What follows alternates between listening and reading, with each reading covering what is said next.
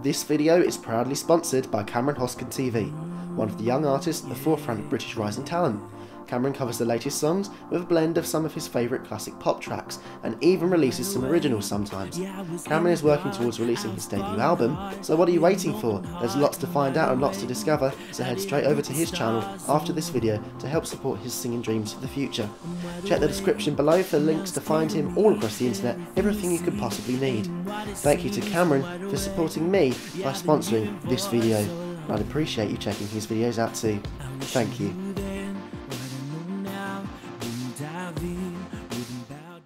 And now, stand by for coverage live from the Olympic Games Stadium 2012. Yes, hello everybody, my name is Jaden Donovan and I am here today in the one and only London 2012 Olympic Stadium.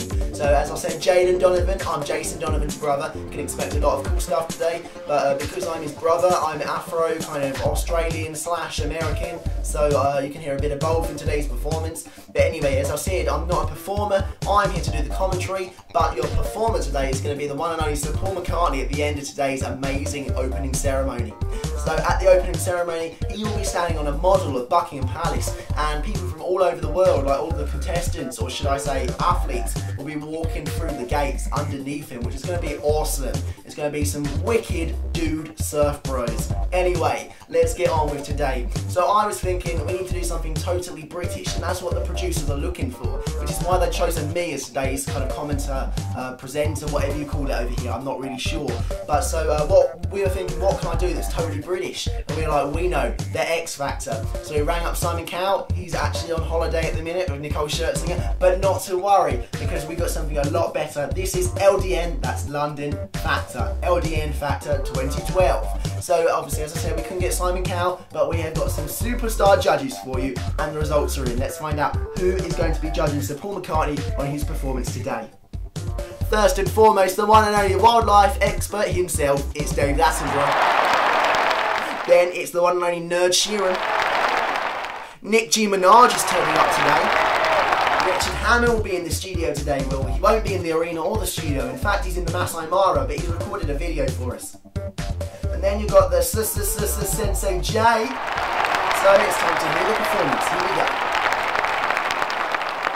So you heard that amazing performance. I thought it was just perfect. Now it's time to hear what the judges think, because what I think doesn't matter. David, what do you have to say? Yes, thank you, Jaden.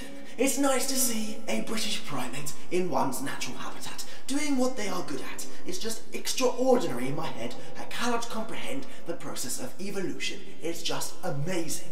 But anyway, the only one bad thing is to think all of us one day are going to be that old and wrinkly. It makes me feel bad.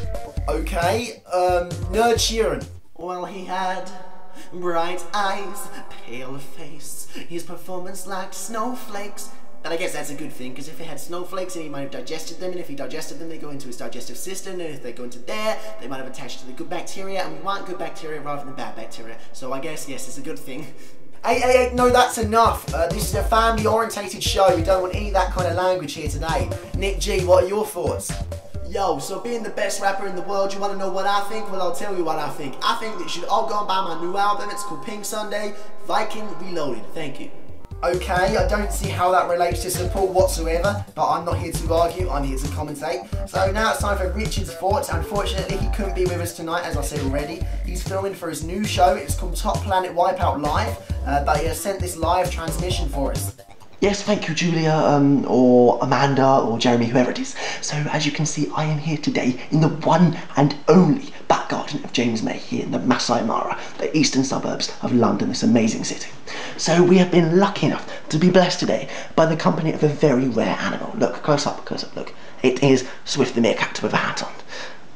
Anyway, so uh, we were asking for your names on Facebook. Take this away from me, I don't want to touch the thing. Thank you. Anyway, so uh, we asked for your names on Facebook. You didn't give us any because no one watches this show. Uh, but it is a BBC show, so it's worth watching. Anyway, so I'm told that on the thermal cameras, which I believe we can uh, switch to now, uh, I've got some images that were taken earlier today. Uh, or actually, oh, they're live images. That's even better. Uh, of a rare species of deformed human being. Can we have a look at that? Oh, it seems that it's my next door neighbour. Um, back to the studio. Sorry about that, um, transition problems right there. Anyway, now it's time to hear from the one and only Sensei J. Well, he could be my brother because he makes me feel good. He makes me feel safe. But if he's mean, I'll take him down like he's a domino. Ha! Who'll be laughing now?